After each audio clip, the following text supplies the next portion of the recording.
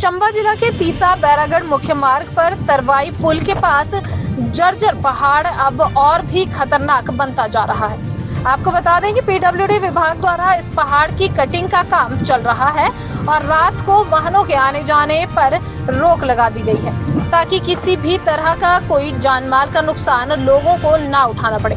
आपको बता दें कि इस मार्ग पर 11 अगस्त 2023 को एक बहुत बड़ा हादसा पेश आया था। इसी पहाड़ी से भारी भरकम मात्रा में गिरे पत्थरों की चपेट में छह पुलिस जवानों के साथ उसी टैक्सी के चालक की मौत हो गई थी। इसके बाद जिला प्रशासन ने इस पहाड़ को गिराने का निर्णय लिया था। तस्वीरों के माध्यम से यह साफ़ तौर से देखा जा सकता है कि मीटरों की ऊंचाई लिए भूमि से जुड़ा यह पहाड़, जो कि अंदर और बाहर से इतना खोखला हो चुका है। उज्जवल हिमाचल के लिए चंबा से शैलेश शर्मा की रिपोर्ट। हिमाचल प्रदेश के विश्वसनीय ज्वेलर, भूषण ज्वेलर्स सोलन